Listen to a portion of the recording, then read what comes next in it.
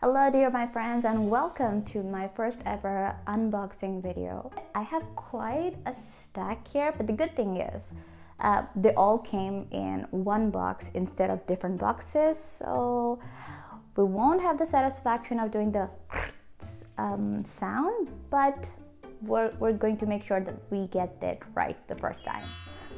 I'm not gonna do that. I'm not gonna have my first injury here. Um, so in total, I have 10 books, and this first one, uh, I think, has four books in this big box. So there's no way I, I would be able to catch. Oh my god, that was so satisfying. They're so pretty. So many. Okay, the first book that we have is called What You Are Looking For is in the Library. This is by Michiko Aoyama. And this is a very cute Japanese translated fiction. This one is a hardback. Ooh, I love the burnt orange color. It's very cute um, and perfect for autumnal weather. Okay, so no French flaps for this one. And what is it about? Now, I'm going to be very honest with you. When I bought all of these books, I read them and uh, I read the synopsis of them and then I remembered them, but I had forgotten everything about them. So, what you're looking for is in the library, which is very true. You should go to your local libraries. Um, but aside from that, this book is about this book is set in a library and there is a librarian her name is called she's called sayuri komachi. And she is the perfect librarian uh, in a sense that she recommends a book which exactly fits the person. So when she gives you a book recommendation it's not just a book recommendation but it is the perfect book that you are looking for. So she recommends um, a couple of recommendations to a different set of people and then the story unfolds and we see how they were the perfect books for them and what the whole story unravels from there. Okay, so the next book that we've got is called The Swift. This is by Beth Lincoln. And, and this is illustrated by Claire Powell because this is a middle grade book. Just look at these illustrations. They are so cute. And on the day they're born, each swift is brought before the ancient family dictionary. They're given a name and a definition, and it is assumed they will grow up to match. So we meet Shenanigan Swift, and she has other ideas. And can we see Miss Shenanigan here? And there's a cat! It's so cute! So someone is going to try to kill her latest aunt. Her name is Schadenfreude, which um, is a German word. Um, and we're going to learn what that means. We're going to learn who is killing them, and Shenanigan is going to solve this mystery. Exciting. The next book that we have is called Strange Weather in Tokyo, and this is by Hiromi Kawakami. It's translated by Alison Markin Powell. One night when she's drinking alone in a local bar, Tsukiko finds herself sitting next to her former high school teacher. Yeah, okay. Over the coming months, they share food and drink sake, and as the seasons pass from spring cherry blossoms to autumnal mushrooms, hmm, Tsukiko and her teacher develops a hesitant intimacy that tilts awkwardly and poignantly towards love. I have heard excellent things about this book, and this is actually a recommendation from Christy-Anne Jones. Um, and I, I really like the sound of it. So that's the third one. And the last one in this box is called The Housekeeper and the Professor, and this is by Ogawa. It looks so pretty, doesn't it? It has these beautiful French flaps, like so. Oh, it has baseballs. It has baseballs in its um, and as end papers or is it back cover? I don't know, whatever. Um, this is a vintage classic edition and it is very, very pretty. Who is it translated by? This one is translated by Stephen Snyder, and this is a story about a professor, but he cannot keep his memory for more than a couple of seconds, I think. How exactly does a man live with only eight minutes of memory? So he can only live with eight minutes, and this is a very interesting premise for me. Every morning, the professor and the housekeeper are introduced to one another. Because of a head injury 17 years ago, the professor has an 8 minutes memory. Although he may not remember what he had for breakfast, his mind is alive with elegant mathematical equations from the past. He devises clever math riddles based on the housekeeper's shoe size or her birthday, and the number reveals a sheltering and poetic world to both the housekeeper and her 10 year old son. With, with, with each new equation, these three souls forge a bond that runs far deeper than memory. Mm, that's so wholesome. Well, I also have a memory problem, so I would love to know how the housekeeper solves that. Um, but unlike the housekeeper, I'm not a mathematical genius. Um, so maybe. Let's see. Time to unwrap the next box. Are you ready? One, two, three.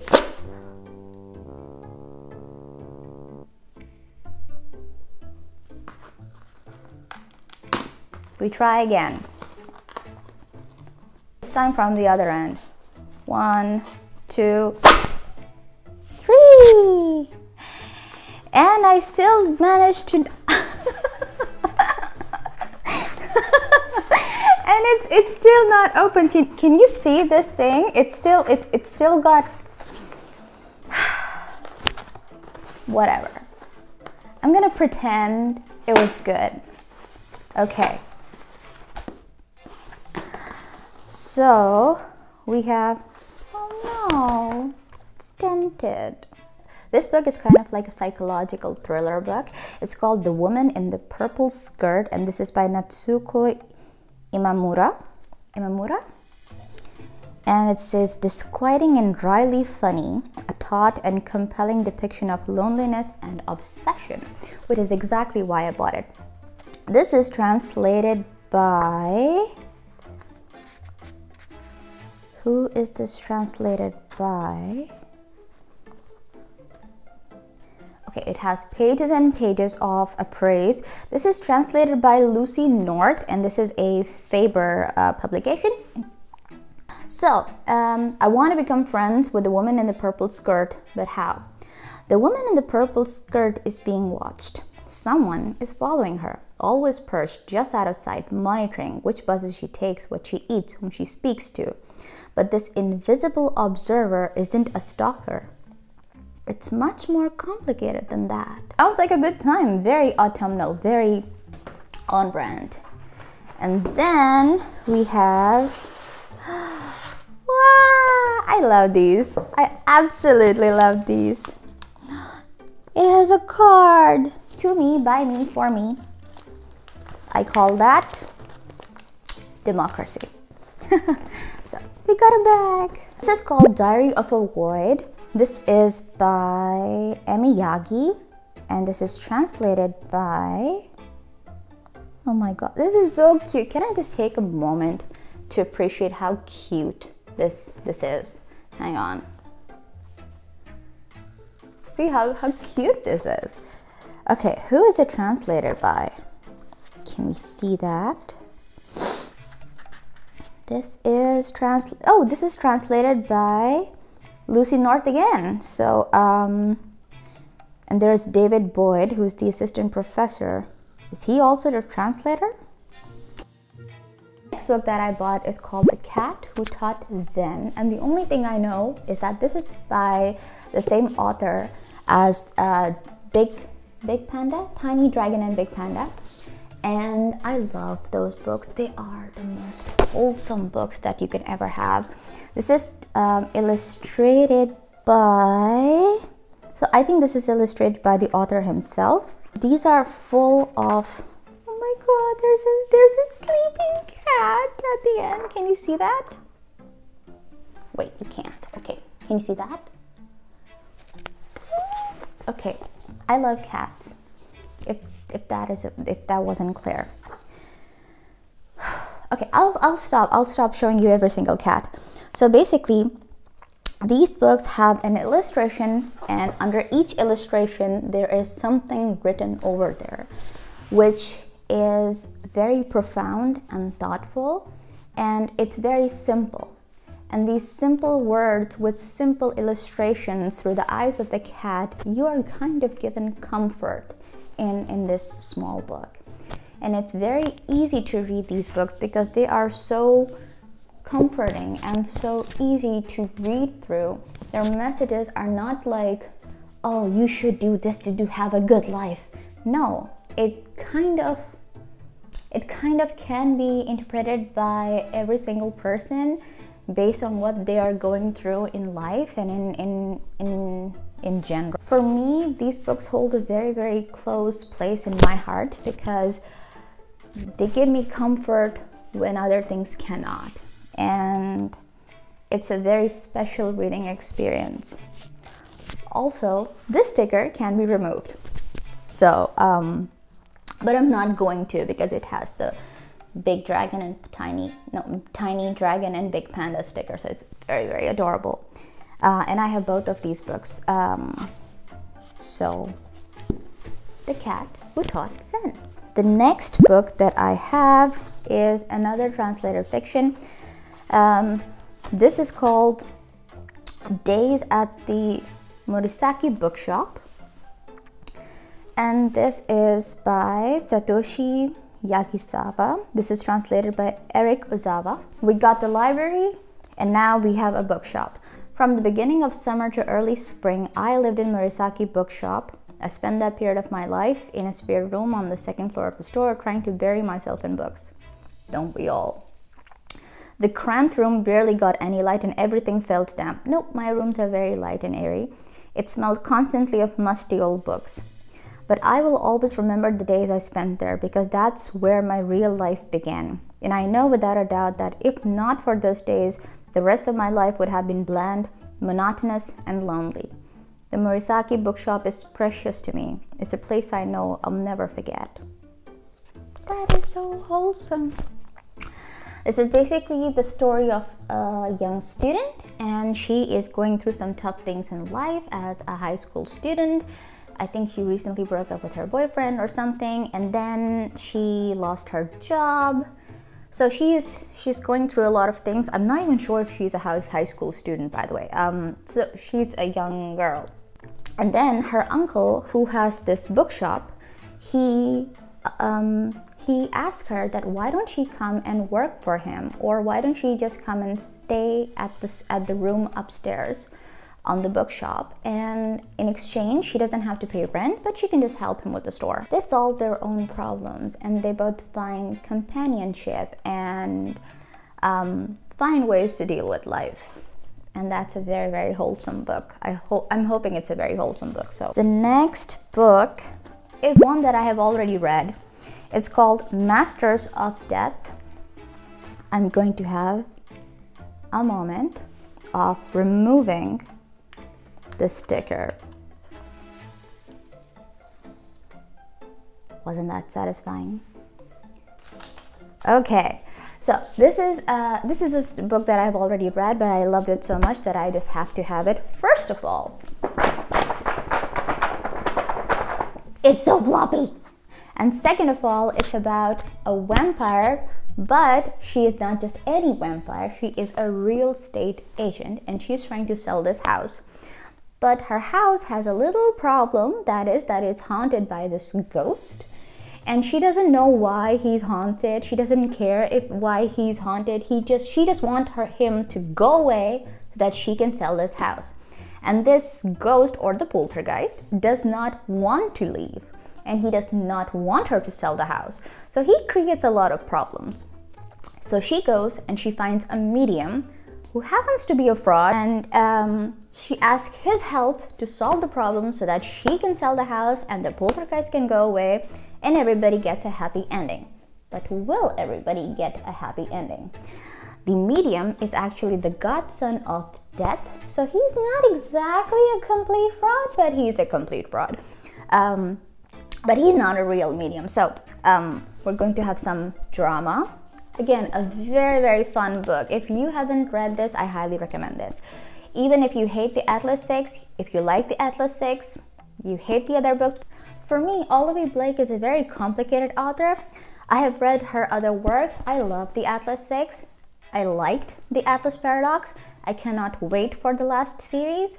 I hated, absolutely hated Alone with You in the Ether.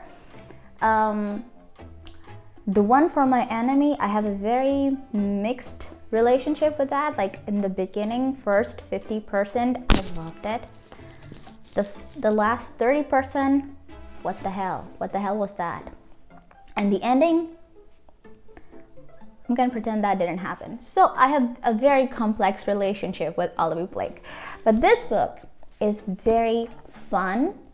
Um, the dialogues here are a little bit cringy and I wish the editing was done pr properly, but this is not a review, it's just a haul. So read this. And finally, the last book that we've got is actually a little graphic novel. It is called Loving Reaper. It has two short stories. One is called Black. Okay, so the next book is, I think probably it's one of my favorites. Um, this is a graphic novel. It's called Loving Reaper by Jenny Jinya, and it is absolutely beautiful. This actually has two short stories. One is called Black Cat, and the other one is called Good Dog. The story is about this Grim Reaper who finds this little cat and he thinks he is unlucky because he's black in color. And this little dog who thinks he got abandoned because he was not a good boy. And the Grim Reaper is going to find them uh, homes so that they will have their happy ending. And the illustrations are so, so pretty. Um, when I first saw this book, I couldn't I couldn't stop reading it. I'm trying to find a find something that doesn't spoil it because they're so small that they can easily be spoiled. But look at the start of this story. It is really, really beautiful and pretty and look at that. It's really, really cute and very heartfelt. So I would recommend having a bunch of tissues at hand while reading this because um, this is very um, heartwarming and wholesome, but a tearjerker. So tissues. This is called Loving Reaper. And that's it. That's the end of this video. So I guess I'll see you in the next one. Now I'm just gonna go and choose which one of these books am I going to read first. If you like the chaos, please consider liking this video and subscribe for more because more videos are gonna come very, very soon. And I will see you in whatever comes next. That's it for me today. Turning Pages signing off. Bye!